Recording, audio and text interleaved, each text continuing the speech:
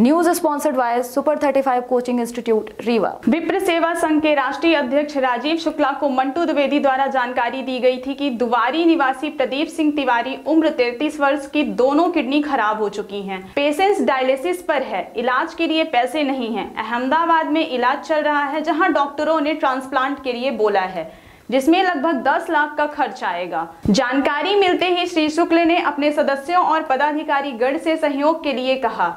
परहित धर्म सरिस धर्म नाही भाई पर पीड़ा सम नाही अधमाई। इसी भाव को चरितार्थ करते हुए पच्चीस हज़ार रुपए का आर्थिक सहयोग किया। चूँकि पहले ही बहुत पैसा इलाज में खर्च हो चुका है, अब स्थिति नहीं है कि आगे का इलाज करवा सकें। ट्रांसप्लांट के बाद भी सालों दवाइयाँ चलती हैं। पीड़ित का परिवार अत्यंत परेशानी में है। आर्थिक रूप से काफ़ी कमज़ोर हो चुका है।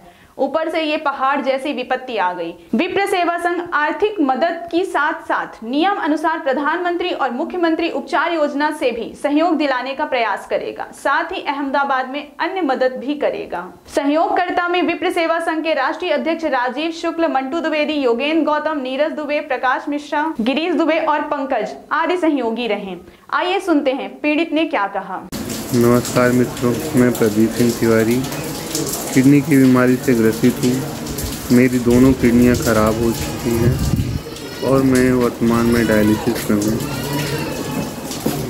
इस दौरान विप्र सेवा संघ के राष्ट्रीय अध्यक्ष श्री राजीव शुक्ला जी ने अपने सभी सहयोगियों के साथ हमारी बहुत मदद की। जिसमें आर्थिक रूप से पच्चीस हज़ार रुपये की दान राशि हमारे खाते में उनके सभी सदस्यों द्वारा उपलब्ध कराई गई।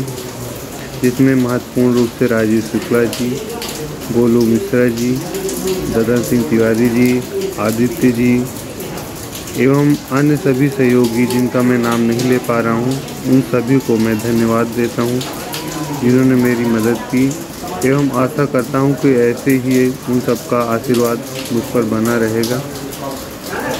मैं वर्तमान में अहमदाबाद में अपनी किडनी का इलाज करा रहा हूँ। मेरी जांचें चल रही हैं ट्रांसप्लांट की तैयारी हो रही है। और मैं आप सभी का हृदय से धन्यवाद देता हूँ, जिसमें विप्र सेवा संघ के राष्ट्रीय अध्यक्ष राजीव शुक्ला जी, गोलू जी एवं अन्य सभी सहयोगी, जय परशुराम।